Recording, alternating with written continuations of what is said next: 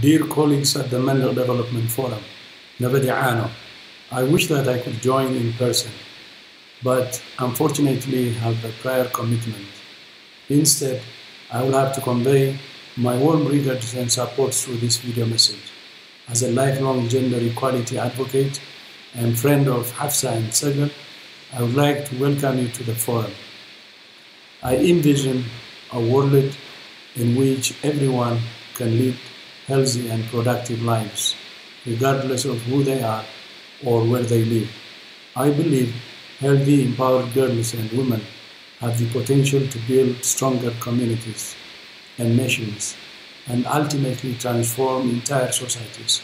The Maandeeq Development Forum today will address the significance and relevance of very important issues for girls and women's health, including participation in education, female genital mutilation, and its negative impacts.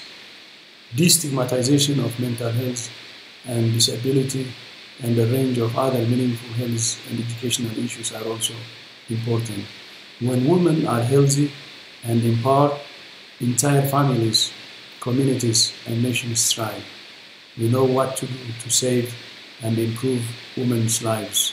And political will has been building to make women's health and rights core to all development efforts. We must collectively prioritize the well-being of women and girls and youth so that we can mobilize towards efficient livelihoods and institutions.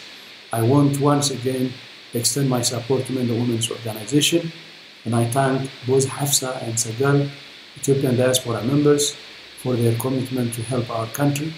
And I wish you all a fruitful forum. Mahasantai Nabadiano. Thank you.